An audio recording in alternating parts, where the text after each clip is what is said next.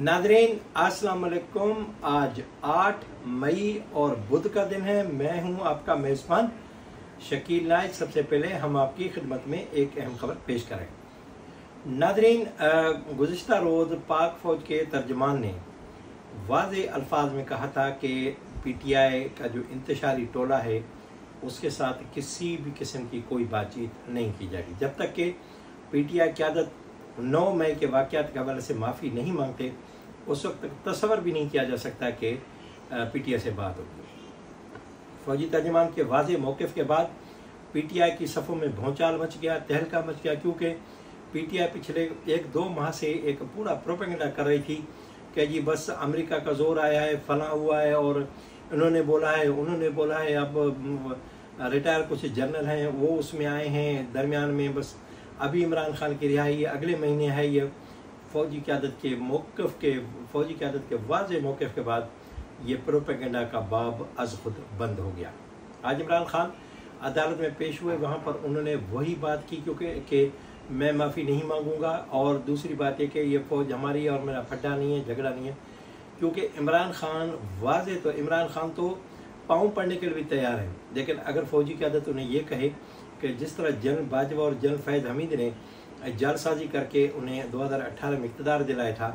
ایک مطلب پھر تمہیں اقتدار دلایا جا رہا ہے تو وہ الر اعلان بھی پاؤں پڑنے کے لیے تیار ہو جائیں گے۔ لیکن ظاہر بات ہے، فوج ان سے معافی منگوا کر یہی ثابت کرے گی کہ دیکھیں انہوں نے جرم کیا اور انہیں اعتراف کیا۔ لہٰذا اب انہیں کم از کم اتنی رعایت تو دی جا سکتی ہے کہ ان کے ساتھ بھلے بات نہ کو، نہ ہو، لیکن انہیں ایک جو لال دائرے کے اندر رکھا ہو اس کو باہر نکالا جائے اور ان کے لیے نرمی رکھی جائے۔ لیکن عمران خان نے اس کا یہ موقع بھی گھما دیا۔ ناظرین دوسری خبر یہ ہے، جو پاکستان کی عوام کے لیے چونکا دینے والی ہے، وہ یہ ہے کہ آج پی ٹی آئی کے وفد نے امری، معروف امریکی سفارتکار ڈونلڈ بلوم سے ملاقات کی ہے۔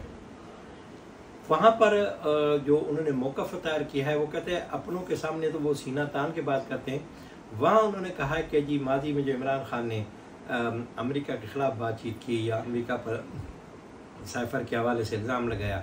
ہم معافی مانگتے ہیں، عمران خان کو ایسا نہیں کرنا چاہیے تھا اور عمران خان بہکاوے میں آ گیا تھا۔ عمران نے یہ کیا اور عمران خان کی غلطیاں ہیں۔ عمران خان کو جو ہے وہ معاف کیا جائے اور امریکہ اس کے لیے نرم رویہ کے۔ ڈونلڈ بلوم کو پی ٹی آئی قیادت نے یہ واضح طور پر درخواست کی ہے، گزارش کی ہے، منت کی ہے کہ جی آپ پاک فوج سے بات کریں کہ عمران خان کو رہا کیا کرائیں۔ ڈونلڈ بلوم نے اپنے جو بیان میں کہا ہے، ان کا انہوں نے واضح کہا ہے کہ امریکہ کی ایسی کوئی پالیسی نہیں کہ کسی ملک کے اندرونی معاملات میں اس حد تک جائے، کوئی گرفتار ہے تو اس کے اس کو چھڑوائے۔ ڈونلڈ بلوم کا کہنا تھا کہ انہوں نے پی ٹی آئی کے جو وفد ہے، اس کو واضح کہا کہ امریکہ کی ایسی کوئی پالیسی نہیں۔ اور امریکہ اس طرح کا کہیں، کو پوری دنیا میں ایسا کہیں نہیں کرتا۔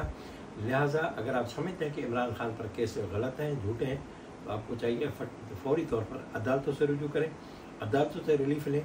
ہم آپ کی پولیٹیکل بات سن سکتے ہیں، ہمیں آپ کو پولیٹیکل جواب دے سکتے ہیں۔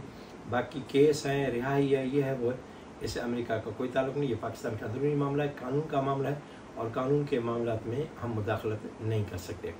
تو جنہوں نے اتنے عرصے میں یہ ایک جو ہے وہ شدید ترین ایک پروبینڈ کیا کہ ایبسلوٹلی ناٹ کہا۔ اب ایبسلوٹ ناٹ کہنے والے امریکہ کے پاؤں میں پڑ گئے ہیں، ان کے پاؤں میں گر گئے ہیں اور ان سے معافیا مانگ رہی ہیں۔ لیکن یہ الگ بات ہے کہ امریکہ اس سمے میں ان کی مدد نہیں کر سکتا۔ ان کے لیے یہ وہ کوئی مددگار ثابت نہیں ہو سکتا۔